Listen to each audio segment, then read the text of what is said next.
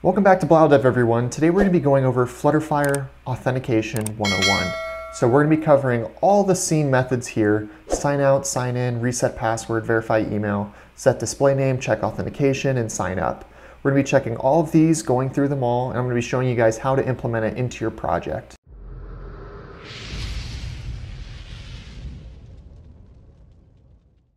The first thing we want to do is we want to make sure that we set up a Firebase project.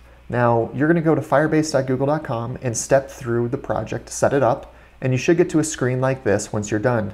Next, you want to make sure that you add your app to Firebase. So you want to connect your Flutter project to Firebase. And you see here, I've already added the iOS side of things to my project. You can also add the Android as well.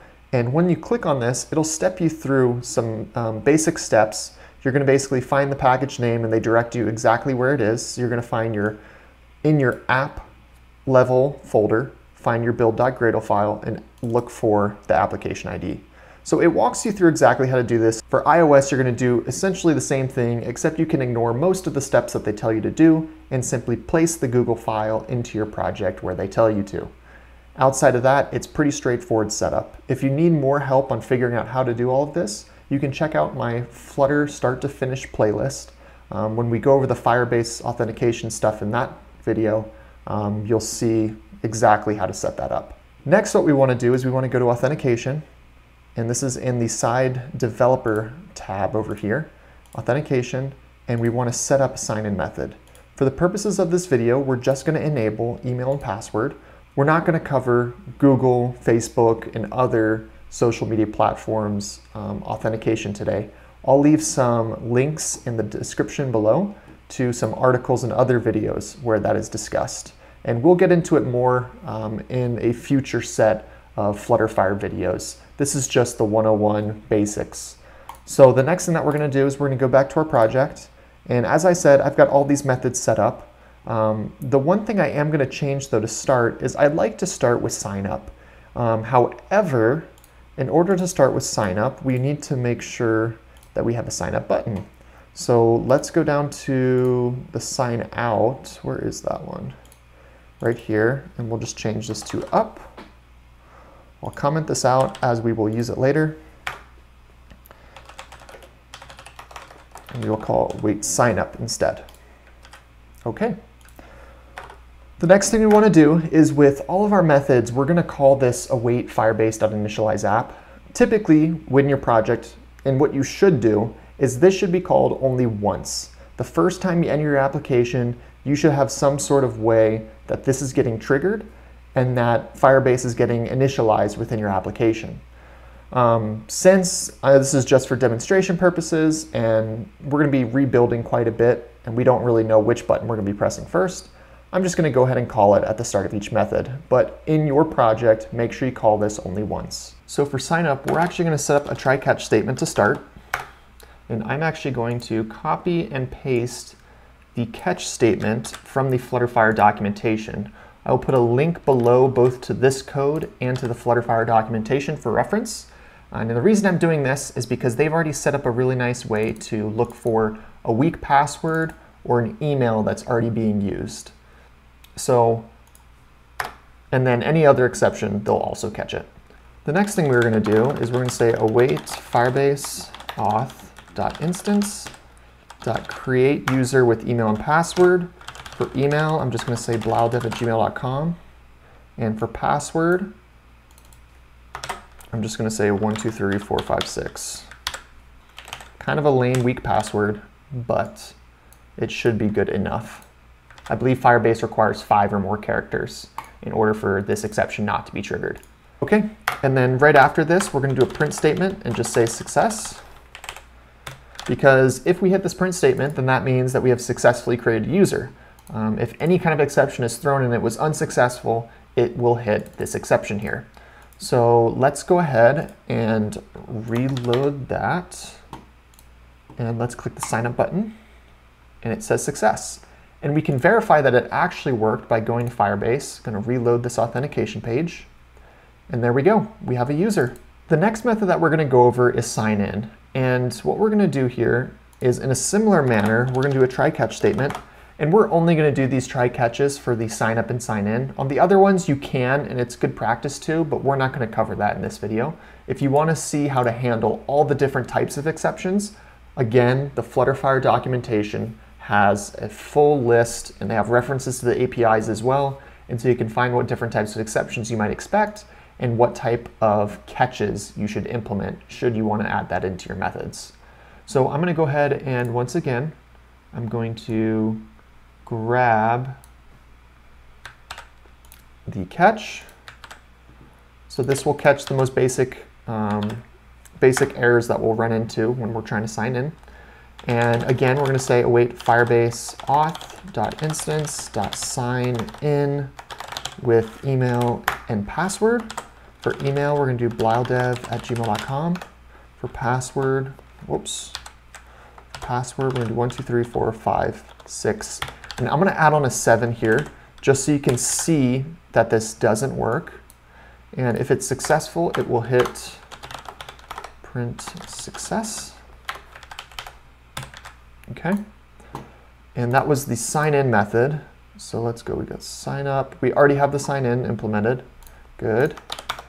Restart that. It's been restarted. And typically what you're gonna do with these methods in the future um, when you're implementing your project, sign in would take something like this. It'd take in a string email and a string password, and that's what you would feed the method. I'm hard coding in these values um, because this is for demonstration purposes and to understand how these methods work. Um, obviously, hitting a button, you're not going to have hard coded um, information for the user to sign them in and sign them up. The user needs to provide that, and then you need to pass it to these methods. And all of these are future void methods. Void meaning they don't need to return anything. They just execute, but there is no response being sent back to whoever called those methods. Okay, so going back to this one, we've set up this sign in with email and password. If it's successful, it'll hit success. If it's unsuccessful, which it should be because it doesn't have the correct password, um, it should say wrong password provided for that user, and we should see that printed out down here. So I'm going to restart it one more time just to be sure. Hit sign in. Wrong password provided for that user. Awesome. Let's take away that six now, redo this.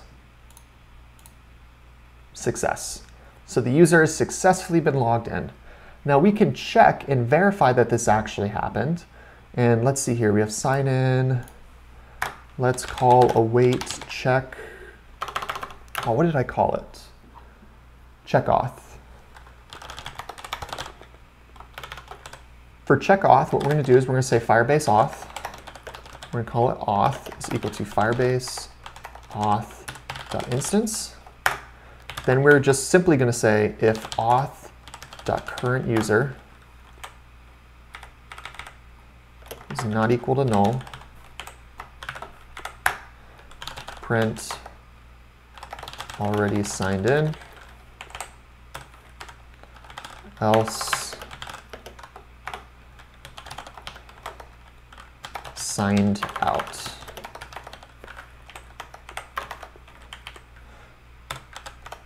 Okay. So what should happen is when we press the login button, it should first sign the user in, then it's going to check and see if they're authenticated. So let's go ahead and restart this, hit sign in. We should see two success messages. Actually, we should see a success message and then an already signed in message. There we go. So it signs the user in and it says the user is already signed in. Now what we want to do is we want to add a sign out method and I'm going to go over here and I'm actually going to revert the sign up back to sign out. And that way we can test and see if the user is truly getting signed in or out properly. And we can also show you how to incorporate sign out into your project. Okay, so we're gonna do a simple try catch, except this one will be much simpler. Print e.toString. Okay. Then we're gonna say await firebase auth.instance.sign out. It's that simple. Okay. The last thing we're going to do is print success, because if we hit this, then we've successfully signed the user out. All right, we're going to reload this. So let's first sign the user in. User is already signed in. Then we're going to hit sign out, success, and signed out. Awesome.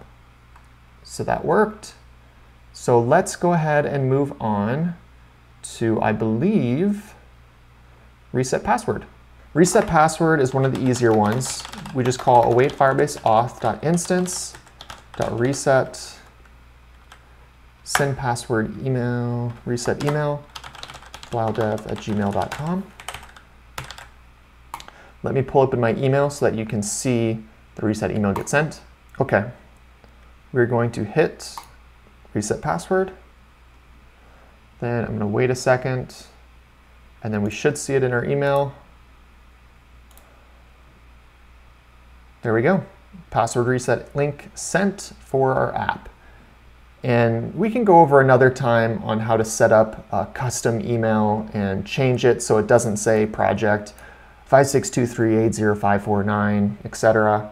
Um, but to have a better, um, more presentable email. But that's all we're going to do for reset password today. For verify email, we're going to do something slightly different. We're going to say user is equal to firebase auth.instance.current user. Then we're going to say user dot send email verification. So what this will do is it will first we're going to set what is the current signed in user and then it's going to say send an email verification um, which will send an email to whatever email stored in that user's um, authenticated account. So let's go ahead and do a hot restart. Send that verification email. And we got this because we have no user currently signed in. If we check auth, they're currently signed out. So let's sign them in first, and then let's send the email. All right, go back here, verify your email. Perfect. So that's working. Um, let's go ahead and move on to set display name. For set display name, we're going to do something similar to verify email, and that we're going to set up a user object. So we set firebase auth.instance.current user. Then we're going to say user.update profile display name BleylDev. So if you noticed, I'm going to just cut this really quick so you can see. We can update the email, password, phone number, and profile of the user. In this case, what we want to do is we want to update the display name, and so that's why we're going to use update profile. Another case where, um, of some, there's a, yes, that's it. There's a photo URL attached to the user, and I believe there's one more field, although I'm not gonna lie, I don't remember what it is off the top of my head. But for updating and setting the display name, um, this is all we have to do, is call update profile on our authenticated user. And again, this user needs to be signed in or else we're gonna get an exception, um, like this case. So let's sign the user out, set display name, and it's confused because no one is signed in. So we need to sign the user in, make sure they're signed in, then set the display name. Perfect. So you want to make sure that the user signed in here. So you could do an instance like um, in this method, you could say, you know, check if there's currently an authenticated user. If there is, then you can execute. Otherwise, send back some sort of response or error message or something to that effect um, to let the user know, hey, you have to sign in before you can do that sort of thing. Or simply place it behind your authentication wall. So you can't even access it unless you're signed in. Um, that's the smarter move. Um, the last method we're going to do so that we can prove that yes, we did indeed update the user's profile and set the display name is to check the display name. And what we're going to do is we're once again going to say user firebase auth.instance.current user. And then we're going to say um, let's do print, and let's say user dot display name. Okay, do a hot restart, check auth. We are already signed in. Okay. Um, let's see. I believe I called this method on the display name method. Let's see here. Hold on. Set to yes. So if I just click this one more time, yeah, there we go. BleylDev. All right. Hope you all enjoyed this. I hope this was really helpful. If you found this video useful, make sure you click that like button and subscribe. I'm gonna keep on doing these videos for Flutterfire. Currently, they only have documentation on a handful of topics, but as those topics become more documented and readily available, I will continue to do videos on how to implement those into your project. And we'll dive a little bit deeper onto Flutterfire 201 and cover more in-depth topics such as social media authentication and so on. So stay tuned for that. I hope you enjoyed this video and don't forget to subscribe to the channel. I'll catch you guys next time.